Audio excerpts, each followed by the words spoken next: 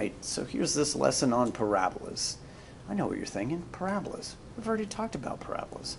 But we're going to look at parabolas as part of this unit on conic sections. Conic sections, think of a cone. Think of slicing that cone with something really sharp. And it makes a two-dimensional shape. One of those is a parabola. So objective one, we're going to define a parabola as a conic section and as this thing called a locus. Not a bug, a locus, not locust. Anyway, and uh, we've got some parts there. We got vertex, which you're familiar with, and these two other parts that you probably never heard of, focus and directrix. One of them's a point, one of them's a line. Uh, objective two, going to be able to write the equation of the parabola in standard form. Standard form is not y equals ax squared plus bx plus c like you're used to. This is totally different standard. It's like a double standard. And then finally, number three, graph that equation, putting it all together, graph that equation when it's in standard form. Make that graph of a parabola. Okay, so before when we were doing parabolas, remember we had just, uh, we had beards and we had mustaches, but here now we're going to have sideways parabolas. So it's a whole new thing, a whole new world is opening up to us. So uh, in this little warm-up, it's just something from geometry. So in geometry, when you take a solid shape, three-dimensional shape, and you cut it with a plane, so just look at those three pictures right there. You're slicing it with a plane. It leaves a two-dimensional shape on that plane. That shape is called a section. Now in science class, you're used to probably drawing cross-sections of cells, things like that. Um, a cross-section in geometry is a section that's just made parallel to the base. So look at the first one here.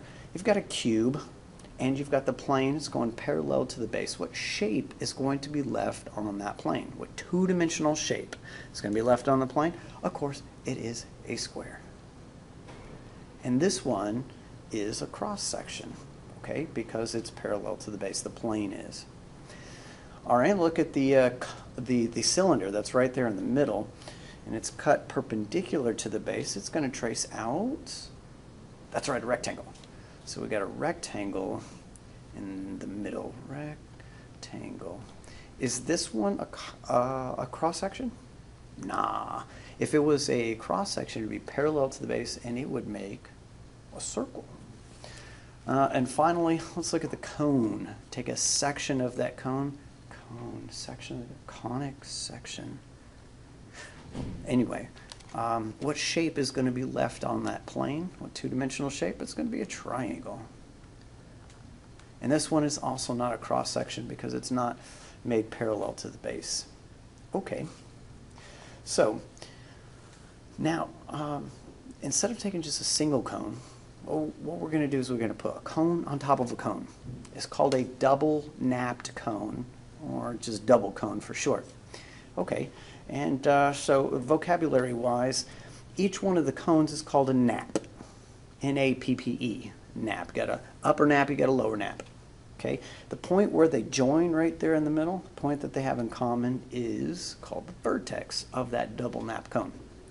Now what we're going to do is we're going to take that double cone and we're going to slice it up in a whole bunch of different ways and make some graphs that, well, some of them you've seen before, but maybe some of them are going to be completely fresh. Before I do, let me show you something on Microsoft Word, uh, Microsoft Mathematics 4, which is a free PC piece of software that you could download for free and then uh, type in this equation so that you can get yourself a double nappe cone. And you can twirl it around and make it look real cool. So let's take a second and look at that. So this is a program called Microsoft Mathematics 4.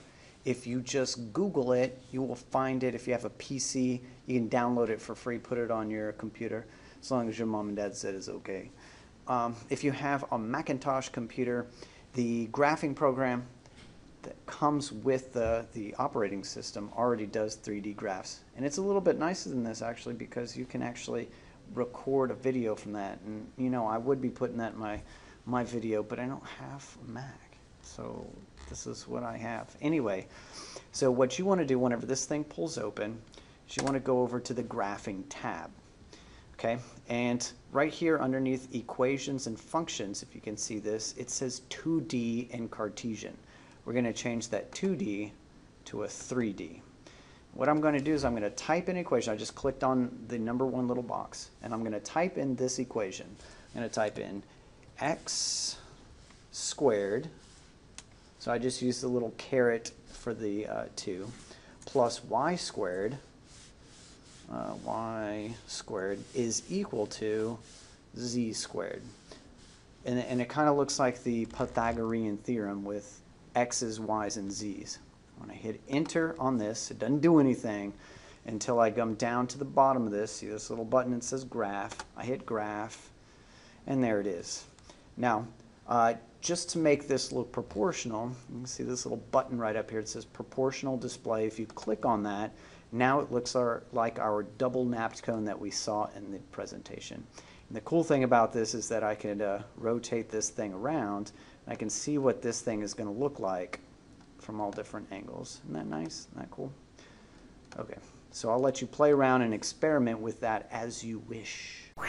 All right, now let's take that double nappe cone and let's slice it up. Okay, so the first way we're going to slice this is take a plane and we're going to make it parallel to the base. Base, well, we're, we're talking about like one of those circular things because these things are supposed to go on and forever.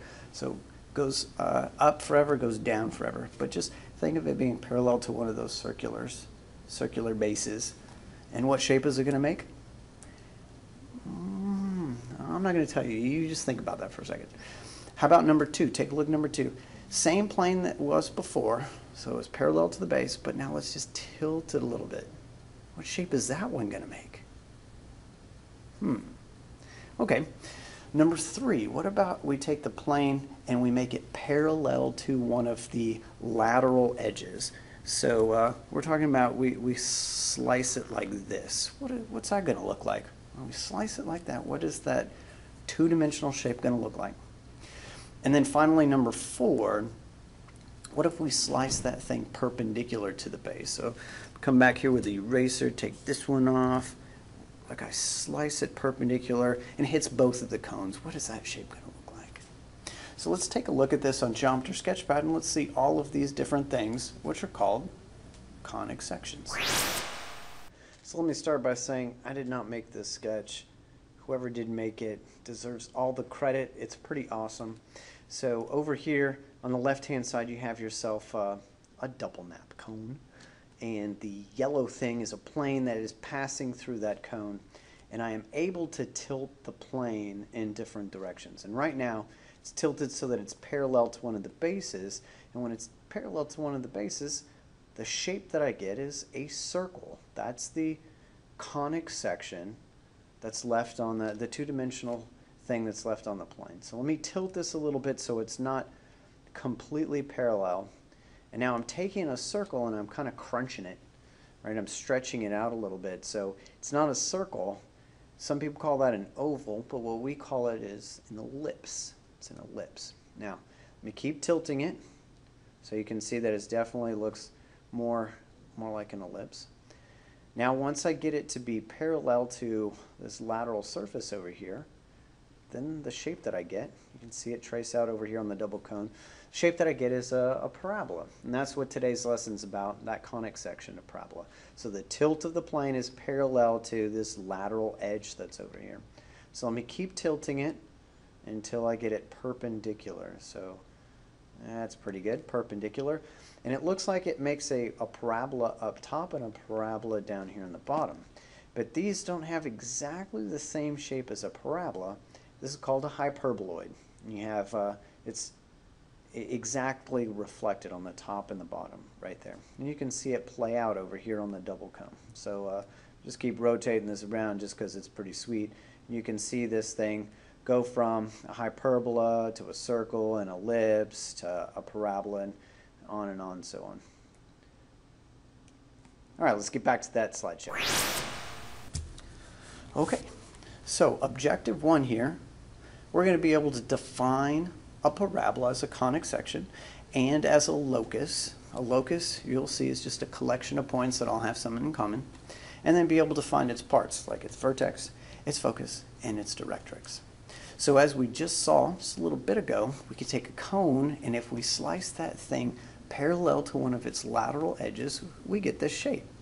We get like that water, that the trajectory of that water. It makes a parabola.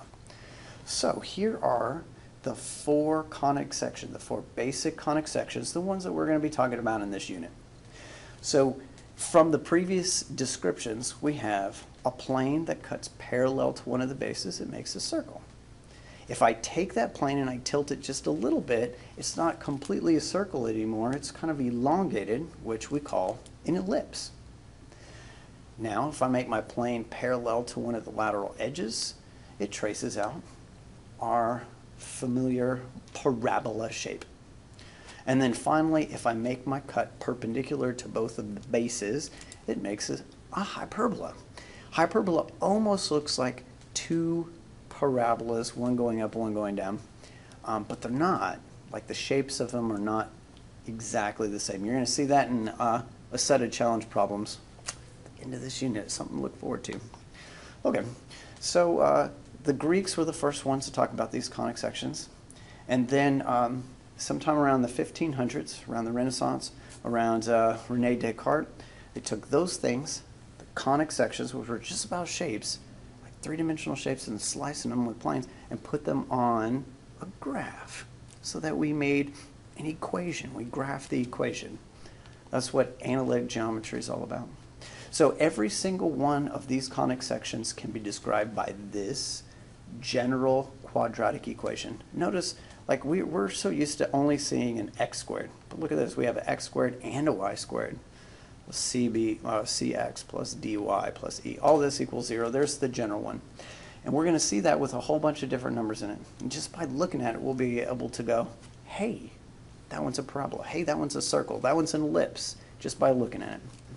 So if you take a look at the pictures that are here, um, the one over here on the right is very nice. It has just a single cone, just tilting that plane just enough so that you can see all the different kinds of conic sections.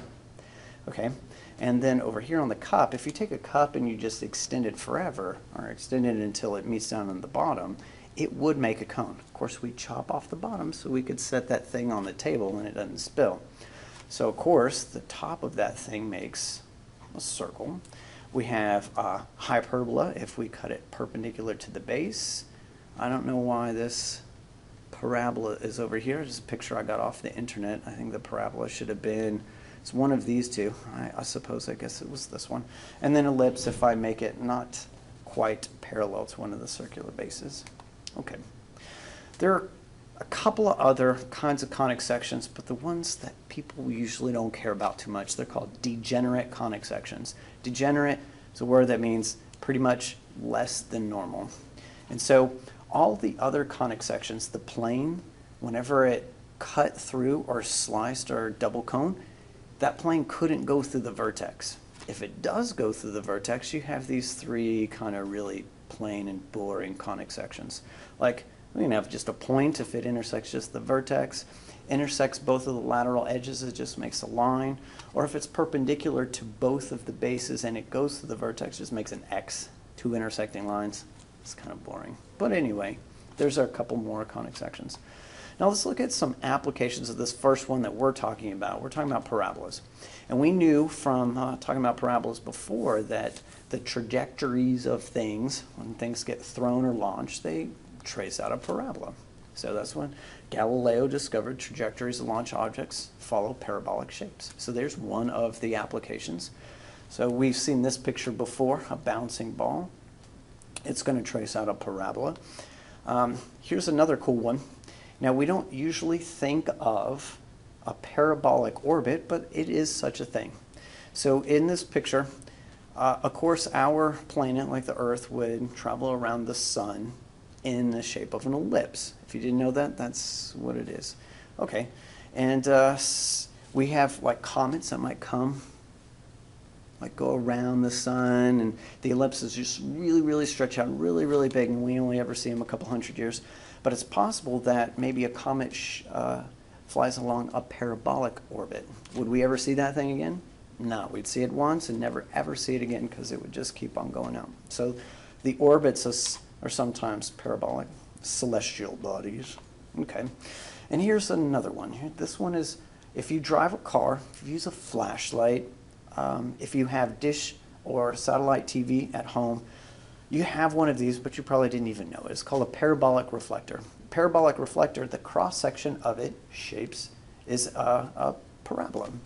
And what happens is, if this is a receiver right here, this is, let's say, a, a satellite, um, some radio waves would come into the satellite, they would reflect off the surface, and they would all focus right there um, at the antenna pickup. And you, that's why on antennas you sometimes see these little, these little uh, legs sticking out. That's where it's receiving it, and it's at the focus. That's one of our vocabulary words that we'll see. Okay. And then on the opposite direction, if it's like a headlight or if it's a flashlight, the focus is where the beam of light would be and the light would just shine everywhere and any any light that hits the actual parabolic reflector is reflected parallel to parallel to the axis of symmetry right here that goes right to the fo focus. And that's why you get a nice a nice fat strong light beam whenever you use a, a flashlight. Okay. So uh, I think that's that's going to about wrap up this first video. When come back, we're going to actually look at parabola as a conic section and as a locus.